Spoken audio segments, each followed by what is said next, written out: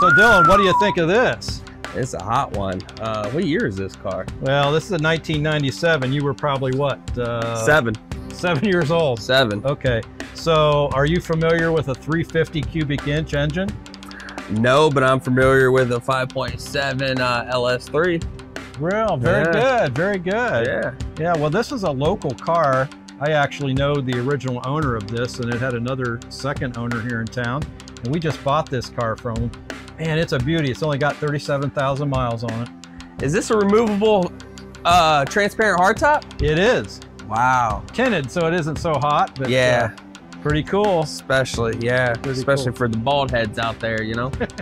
Hey, did you see the condition of these wheels? oh, yeah. Those are hot. Those are the original wheels, painted aluminum, and in excellent condition. It looks Yeah. like they're brand new.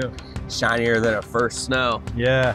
But I got to tell you, the guy that owned this car originally here in town, he is the most particular guy I have ever known. He's had multiple Corvettes over the years.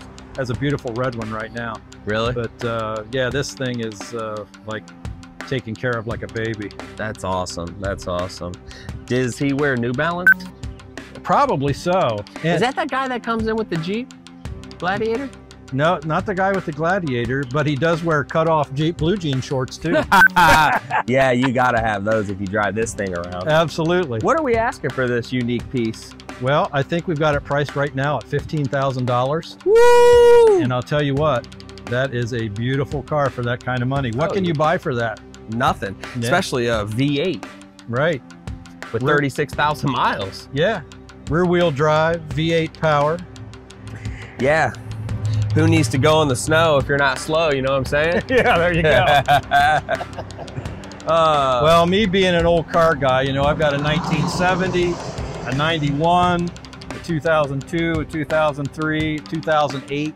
I love these old cars. what stopped you from buying this one? Well, The New Balance? no, it doesn't have a blue oval on it. Ah, yeah. Well, not everybody can be as cool as you.